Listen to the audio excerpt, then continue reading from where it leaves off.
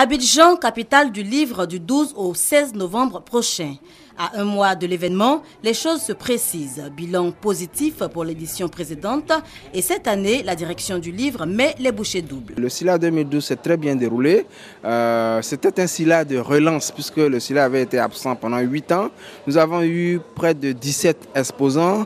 Nous avons eu près de 40 euh, auteurs dont beaucoup sont venus euh, de l'étranger. À ce SILA 2013, nous nous sommes déplacés du CRAE à l'Hôtel Ivoire, qui est un espace beaucoup plus grand plus facile d'accès et qui offre sur place des commodités de logement pour ceux qui, viennent de loin.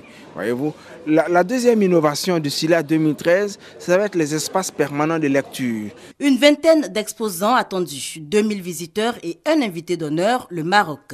Le choix du pays n'est pas fortuit, il s'agit de renforcer les relations économiques entre la Côte d'Ivoire et ce pays frère.